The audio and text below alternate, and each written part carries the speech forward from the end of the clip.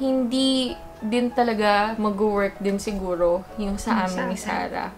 Kasi ang hirap din naman na kahit gaano ko kaswerte sa'yo nung mga panahon na yon parang ang hirap ipaglaban nung relasyon natin kasi Tago pa. tago pa. Higit sa lahat, hindi natin alam kung ano ang magiging reaksyon ng mga tao or paano tayo matatanggap ng mga tao Exactly. kung mag-out tayo. Di ba? Mm. So, ang hirap nun, kaya nilet go din kita. Mm. Lalo na, may involved na Davi. Diba? Hindi naman pwedeng maging selfish siya na ano, pipiliin niya lang ako because ganyan, because ano yung pagmamahal. Mm. Kasi, for me, anong magiging future Yun natin? na, yun. Sarili natin, hindi natin tanggap. Mm. Paano tayo tatanggapin ng ibang tao kung hindi natin tanggap yung sarili Yan. natin? Yun ang naging reason kung bakit tayo nag-break. Nag-decide ka na gusto mong mag-asawa. Parang ganun. Alam ko talaga sa sarili ko na babae ako kahit na nagustuhan ko si Sarah kasi hindi naman ibig sabihin na nagmahal ka ng babae din eh hindi ka na babae. Pa- paano ba yun? Parang, Mm. babae pa rin naman ako. Parang hindi siya sinabi. Babae pa rin naman ako. Yun, kaya kami naghiwalay. Yes. Kasi doon. So, doon. Mm. Mm. Tsaka yun na nga, basta um, hindi ko na i-justify or explain yung side ko kasi like, Like, Duh. wow. Hindi joke lang. Ano, alam ko nasaktan ko si Sarah. Seryoso to. Alam kong, alam kong nasaktan kita. Pero alam ko din sa sarili ko na mahirap ipaglaban ang relasyon natin dahil unang-una sa lahat, hindi ko alam kung ano ang kakapitan ko. Kasi, Kasi, hindi mo nga ako makwento sa mga kaibigan mo, di ba? Nung mga panahon na yun. Ako pa yung chika na chika din sa mga kaibigan ko. Di ba? Ganon, yung mga ganon. Ang hirap eh. Ang hirap yung, alam mo yun, yung hindi mo hindi mo talaga kaya ipaglaban yung relasyon nyo. Kasi, be, hindi ko naman yung pinaglalaban, be, sa mga ganong ano. Pero anyway, dati yun. yeah. Kaya, Parang ano. oo. May, may, may reason ako. May reason din ako. okay. Okay tayo! Hindi, it's a process nga. Kasi Yun nga, naman. kung hindi nangyari yun, Yun naman ang, yun. ang mangyayari, how can you be so sure na nakaget over na ako sa daddy ni Davi? Mm. Kung nawala yung daddy ni Agad-agad. Davi, tas tayo pa rin. Agad-agad. Kaya nga. Paano ka makakasigurado na kaya ko nang mabuhay na walang lalaki? Kung hindi tayo naghiwalay, ay, naghiwalay ng isang taon. Mm. Yun na. Kasi ang amazing, sa isang taon na yun, imbes na single ako, Eh, din- dapat in-enjoy niya, di ba? oo, Kasi, ilang, ang, mm, be, sa isang taon, wala talagang lalaki, be. in fairness. In fairness to me, at dun ko na-realize na, na, kaya, kaya naman pala. pala. so, yun na nga yun. Okay, tapos I'm na so sa side ko. I'm so proud of you. Nung time naman na yun, sige, ibigay ko na sa'yo. Parang wholesome ako noon ba? Kasi church, church naman. Pero anyway, wag muna tayo dun sa church, church kasi baka may mga ginawa ka noon na hindi pa tayo nag-church, church. Ah, sige. Sige. Ikwento na natin yung mga nagawa ko na hindi nag-church-church kasi doon naman yung gusto niyang... hindi. Uy, hindi na, Pero, tinatawanan na lang Pag namin. ikukwento ko ulit, baka... Tingnan natin. Oo nga eh. okay lang yan ah. After na maghiwalay sila ni daddy ni Davi, tsaka kami, ang bilis lang din nawala sa isip ko yung about sa daddy ni Davi. Kasi, nag-focus ako dun sa yung guy. Kasi akala ko, you're so into him. Kasi nga, parang, ano ka eh, umaasa ka na, san, baka siya na, ganyan-ganyan. Pero alam ko na hindi yun kasi alam ko, fuckboy yun. Kaya parang numala sa akin yung about sa daddy ni Davi na parang, ah, masaya ako. Pero kasi nakafocus ako nun sa, hala, hindi dapat yan ang nilipatan mo. Parang gano'n. Buti na lang, syempre, na-realize din niya. Kasi nga, nag-church-church kami. Nawala na yung guy na yon. Ang tagal mo nang hindi sinasabi na hindi na. Ayaw ko na sa daddy ni Davi. And ako rin mismo.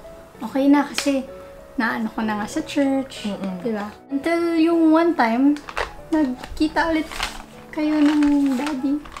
Ni Davi.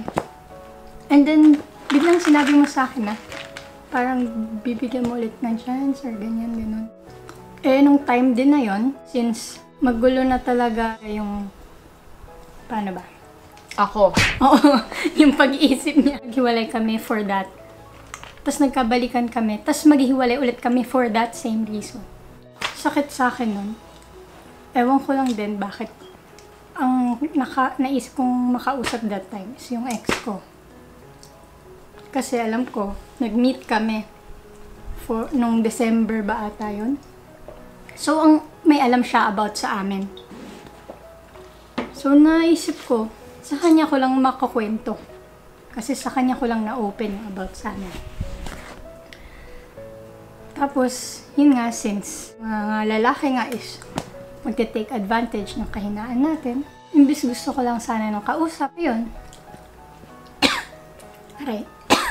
Aray.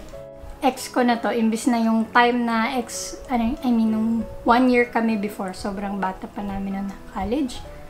Imbis kami wholesome-wholesome noon. Tapos hindi ko na kinwento agad sa kanya. Kasi, hindi naman ako yung ganong tao. After ilang months niya pa nalaman. Hindi naman din sila nagkabalikan ng daddy ni daddy. Kasi nagbalik ulit kami sa church. So, pareho na. So, naiintindihan ko na siya at sin mas sinusuportahan ko siya kasi nga alam ko na nasa okay siya na pa. Pero ang masakit naman doon is yung ex naman niya. Ang kasama namin lagi. Barkada-barkada kami nung ex niya, siya, ako. Um, and nakwento ko rin doon kung napanood niya yung sa girlfriend tag. Um, masakit na makikita mo yung taong mahal mo na may ibang gustong magmahal sa kanya, ibang gustong mag-alaga sa kanya. Ang leader niya sa church, eh, parang naging leader namin sa church. Kaya, parating Magkakasama. kakasama. Pero yun lang yun. Pinapakita nila sa amin that time is, They want to help us. mm Y- Ito yung medyo matagal namin na breakup eh. Meron din akong minute na guy sa LA. We are really trying to do the right thing. Pero parati pa rin magkasama. Kunwari, best friend. Niloko natin yung mga sarili natin. Time na yon syempre hindi ako nakaka-move on pa sa kanya eh. Ang hindi naman ako gusto na parang ano ano ba yung parang boyfriend-girlfriend relationship agad or maniligaw agad siya, hindi. Parang friends lang. Okay lang sa akin yung ganun. Pero, yung guy, first meet up pa lang namin, may may pa flowers na, may pa may pa gift na, hindi naman yun yung expect ko. Parang, ano lang sana, hangout, kain lang, ganyan. Tapos parang kinabukasan, parang kasing two days layover ako dun sa LA.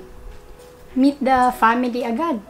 Lo, mas lalo akong naano na, hindi naman, parang ang gulo, kasi hindi naman yan yung gusto ko, hindi naman yan yung naano ko. Kinuwento ko din sa kanya actually, yung nangyari sa amin ni Tanch. Kasi before kaming mag-meet, hindi niya alam. Pero nung after na na-meet ko yung family niya, sinabi ko sa kanya na, actually hindi ako okay. Kasi, hindi pa ako okay kay Tanch. Sinabi ko sa sa kanya na hindi ako okay sa ginagawa niya. Yun. Kaya nag-stop din yung guy na yun. Tapos, yun nga, hindi ko kinuwento sa kanya. Kasi nabasa ko yung message. Message. Ang galing. Hiwalay kami pero nagtitingin pa din ako ng message na. May flight tayo nun, no? Grabe. Ah, pas pasahero? Oo, passenger tayo eh. Mm. Tapos biglang nakita niya yung message. Pumunta sa lavatory. Nakakabahan din ako eh. Parang naramdaman ko rin nabasa niya. Ayun na. Natutulog kasi. Katabi ko. Oh my God, Ayun. talaga. Tapos yun na yung pag-uwi So, natin. umarte ako na parang kami. Oo nga. Oo nga, no? Pero sobrang ano ko nung, oh shit, nahuli ako yung ganun. Hindi nga naman pala kami. Pero hindi. Ang ano, Nahuli ko yung message na pinagagawa ninyo doon. Nasabi mo na hindi yan gawain ng Christian. Tapos, nung nakita ko niya yung text, kinonfront na kita nanginginig na ako sa galit, sa Oo, selos. talaga, nakakatakot. Pero hindi kami nun. Sabi ko, anong ginawa ninyo? Anong ano? Kasi parang meron ako nakita doon na umakyat siya sa room mo, Mm. na pinapasok mo siya doon na solo room ka lang. So, nag-fish na ako ng mga information hanggang sa flight to ah. Singapore lang yun. Ah, Pero pasahero tayo kasi pumunta lang tayo doon nag Tapos sinurprise mo pa ako na ng pa-sunflower. Oo, oh, with the help Pero of hindi our kami, friends. hindi kami nun. Kasi Feb- Valentine's. Alam niyo yun, hindi kayo pero parang kayo. Hanggang sa nanganganak yung mga sagot na hindi ko kayang tanggapin. Ang nalaman ko is yung tinatanong ko, mababaw lang pala na na sitwasyon. Ang nakuha Hindi kong sagot, alam. Ang nakuha kong sagot is may mas malala pa pala siyang nagawa nung time Yung- hiwalay kami. Minute Yung yung second boyfriend niya. na ex ko din.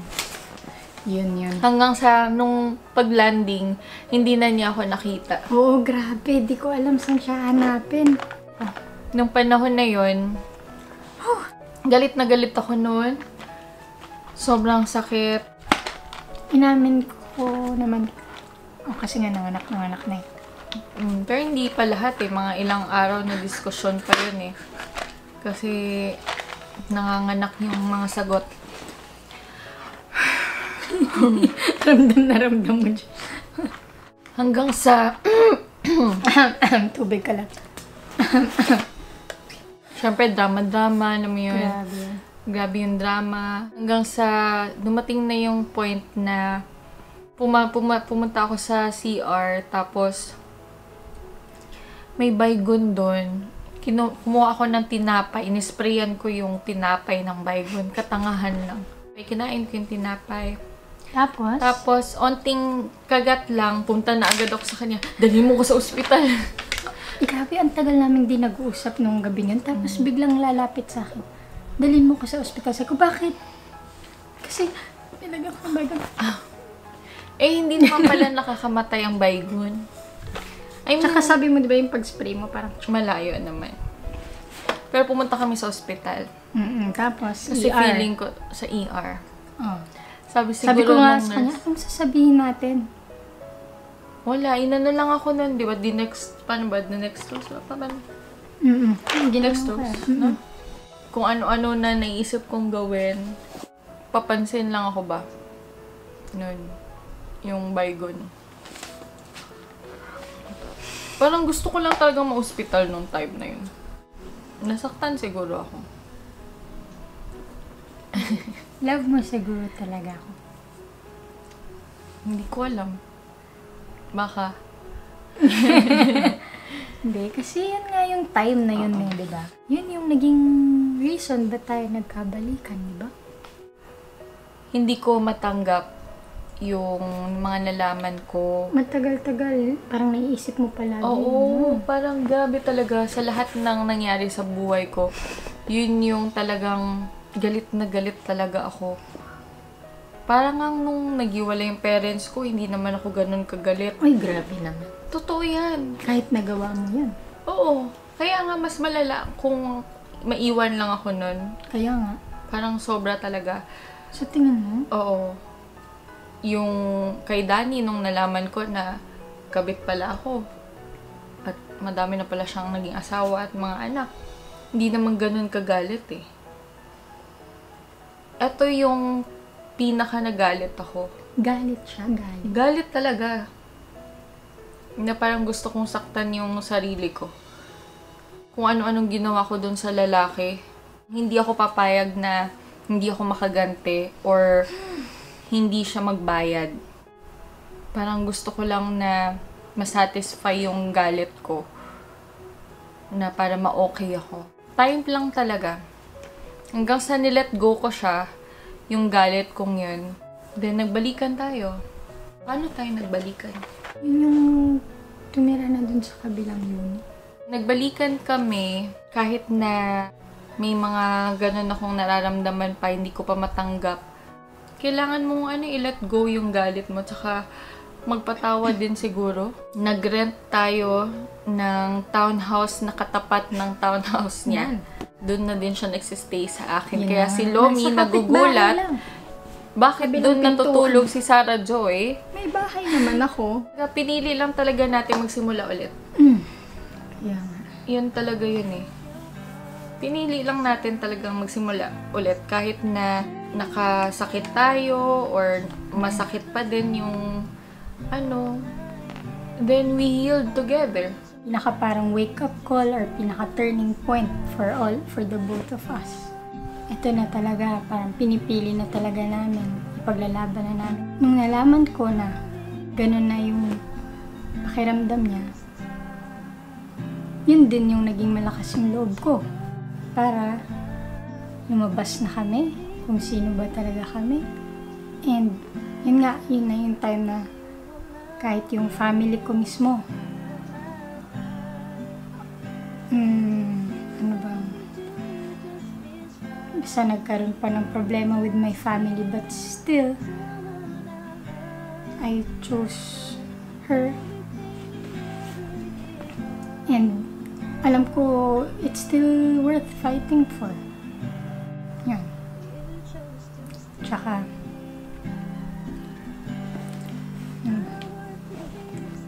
Kasi dati pa niya sinasabi yan eh, na gusto niya mabuo ulit kami dito, bumalik ulit kami sa kondo. Si. Ako. Ha? Miyak na ako. Ako din. And nakakatuwa, no?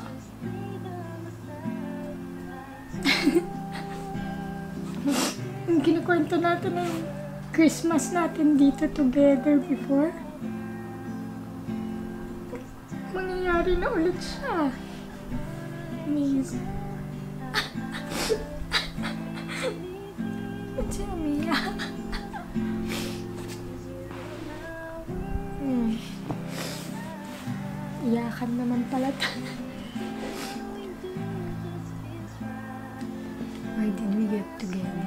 Ah, get together. Get together. Why did we party? Why did we get together? Dapat masaya yun, di ba? Kasi we got together. Got back together. Kasi yung mga pinagdaanan.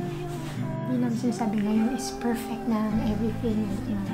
Kasi, yun nga, two years ago, three years ago pa lang yung ngayon. We're still, like, para tayo nagka-catch up. No? And we are savoring this wonderful moments. You choose every day what you do. Diba? What you do. what you ano. You want in life. It's not easy, diba? Ano, ang dami-dami. Mula first year namin magkasama kami. Ang dami na namin masyadong alam sa bawat isa. Diba, love? Pero yun nga, it's up to you. Sinong, kaninong imperfections, kaninong flaws yung tatanggapin mo. Kasi, hindi ako perfect. Kaya, nakakatuwa din na. Everyday, pipiliin pa rin niya ako. Kahit gano'n ka. Tigas yung ulo ko. Hmm? Yung parang umuulit-ulit sa isip mo, no? Pero na, na-let go ko na yun. Kaya. Na- I mean, na ano ko na, I'm choose. Kasi nga, di ba, bit, yung bitterness, yung hatredness will Na- pull me down. Sabi ko, kung dadalhin mo naman yun all your life or no, hindi ka makaka-move forward. Pero totoo talaga siguro na yung pinakamahal mo na tao, yung talagang makakasakit sa'yo.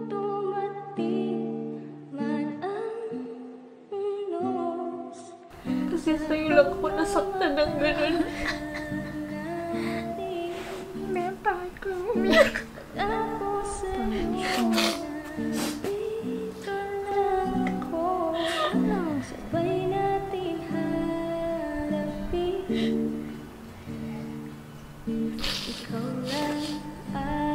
Grateful naman ako kasi da- dahil doon, di ba, na-realize natin kung ano yung papel mo sa buhay ko. At yung papel na yun,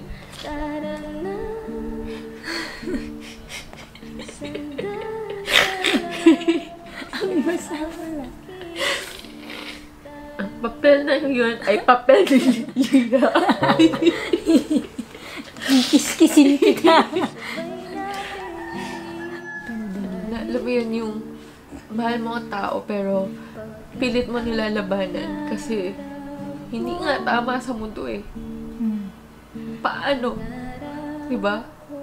Pero, dahil dun sa naramdaman mong sakit, na-realize mo na parang ano yung sa mga anime parang mahal ko na. Nag-ano ka? Hami, hami, wave! Ano yun? Si. San Goku nag-ano? Oo. Super Saiyan. Yes. Doon nag-all out si Mama Tench.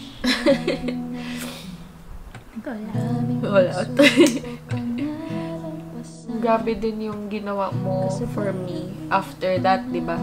Parang, yun na talaga, nagbalikan na tayo. Healing tayo together. Yung naramdaman ko na pinaglaban mo ko sa pamilya mo. Nalaman nila.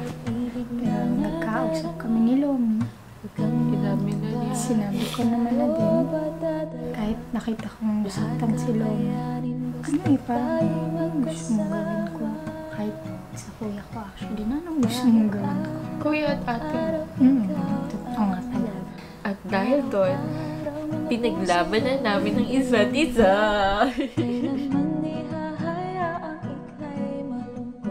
Pinaglaban mo ko sa pamilya mo. Pinaglaban kita sa takot ko na paano si David. Mm. Kibali parang pinaglaban kita kay David. Yun na nga, nasa isip ko talaga. Yun yung pinaka ano na ginawa mo for me is pwede mo namang hindi anuhin kay David. Pero, I mean, di ba parang bahala na kung paano niya maintindihan or ano. Pero ikaw, yun, pinaglaban mo ko sa Kasi si David, syempre, for you. mas gugustuhin ko ng lumaki siya na kahit hindi tama sa mundo yung pamilya niya. Mas gusto ko na lumaki siya ng puno ng pagmamahal. Pinili natin yung bagong, gumawa ng bagong buhay. Kalimutan, nag-clean slate, clean slate tayo. Hindi man naging perpekto yung relasyon namin sa simula. Pero dahil perpekto naman yung tao na pinipili namin, ang imperfecto naging perfecto. Araw-araw mga puso'y nagliliyab Hinding hindi ko hahayaang ika'y malungkot Dahil pag